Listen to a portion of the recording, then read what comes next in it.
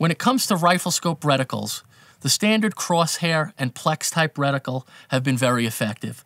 But as shooters and shooting equipment evolve, the need for customized reticles has increased. And that's why we offer several different custom reticles in our rifle scopes. For example, our hunting rifle scopes, the TORIC, Toccoa, and TORREÓN, each feature an impact BDC reticle, but there's something slightly different about each one of them that's specific to its application. It's the same with the response rifle scope, the rifle scope for our AR platforms.